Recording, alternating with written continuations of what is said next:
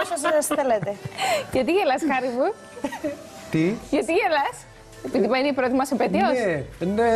Αφού είναι η πρώτη. Η πρώτη να έρθει η δεύτερη, να έρθει. Η πρώτη έχει άλλη μαγεία πάντα.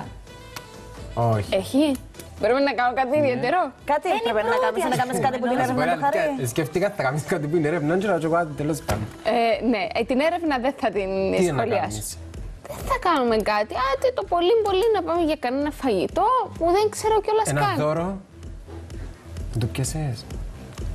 Σταματήσω στο περιθώριο μετά πιάσω μια κάρτα. Να κάρτα μόνο; Ε, τι θέλεις να κάνω, ρε Χάρη; Σημασία να έχουν τα...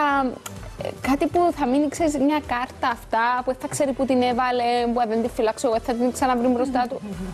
Αυτά τα πράγματα. Με κάρτα, με δώρο, με τίποτα Χριστιανά. σου ξέρεις, Εσύ σε είναι- εσένα. Ε, Είναι... Παιδιά, αλήθεια, κάνεις κάτι ιδιαίτερο στην πρώτη επέτειο. Ένα δωράκι μικρό συμβολικό θα Συγγνώμη, πρέπει. ε, επειδή ακούω για δώρα, ιστορίες αυτά, ε, χάρισε ένα στον άλλον το πιο ωραίο δώρο τη Μελίνα. Οπότε δεν μπορούσα Ένα να- φιόγκο στη Εντάξει, Μελίνα ρε, Χριστιανά παιδιά. και εδώ στο Μπράβο, ρε, τα σου κάλυψες με ειλικρινά. Ε, μα- Λοιπόν, να πούμε, συγγνώμη, να πούμε ότι σήμερα έχουμε την Άννα Μαρία Παπαχαραλάμπους και μας έρχεται σήμερα εδώ στο σπίτι μας